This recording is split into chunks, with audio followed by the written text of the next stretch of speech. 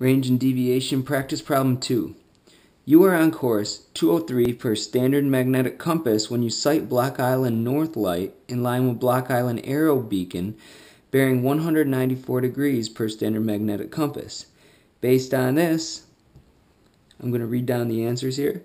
You know the correct deviation is 3 west, should swing your vessel to check the deviation table, should apply 15 west compass error to all compass readings, you know you are steering a true course of 185. Let's solve this problem. I'm going to set up a template here, same one I always set up. T, B, M, D, C, compass error equals variation plus deviation.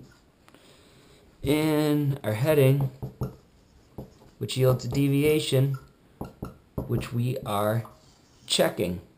So let's get what we can from the problem right now.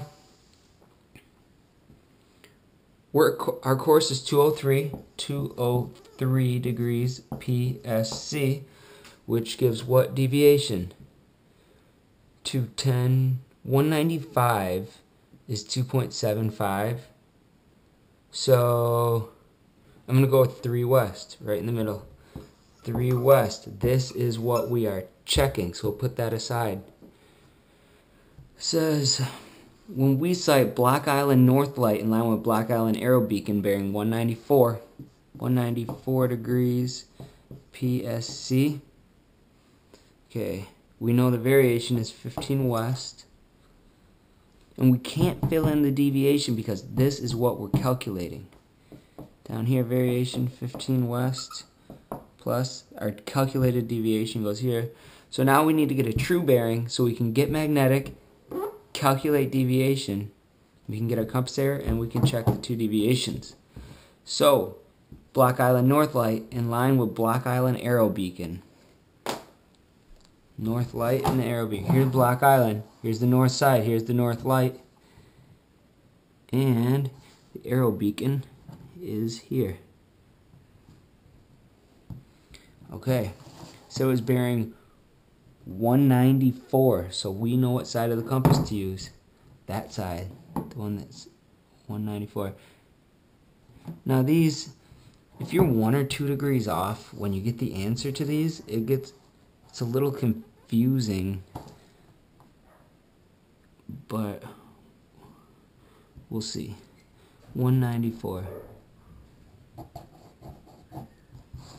Okay, here's 181. I'm seeing 182.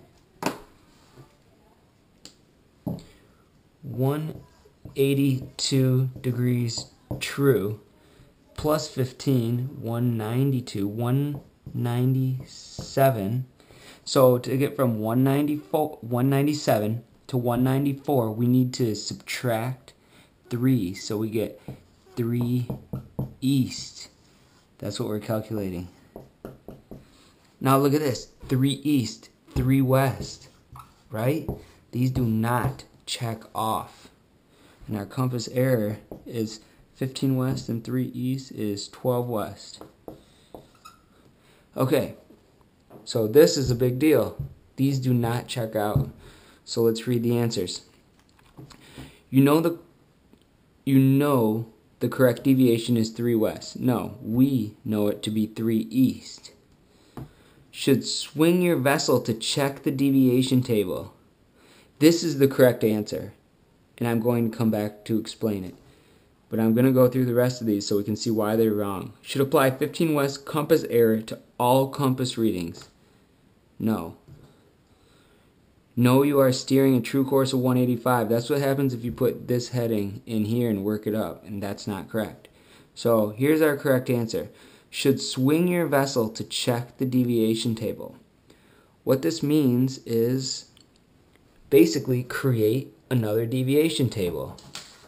What you do to swing your vessel is you make sure that these two points are in a line so you know the true bearing is correct and you know the variation is correct so you get a magnetic.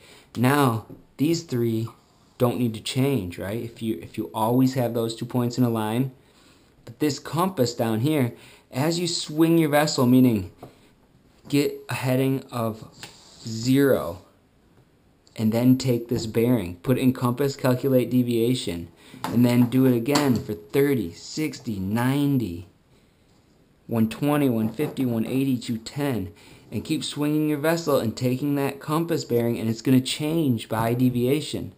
So because these are the same, when your heading changes, deviation changes, which gives you a different compass bearing, and you can calculate that out, and that's how they created this table.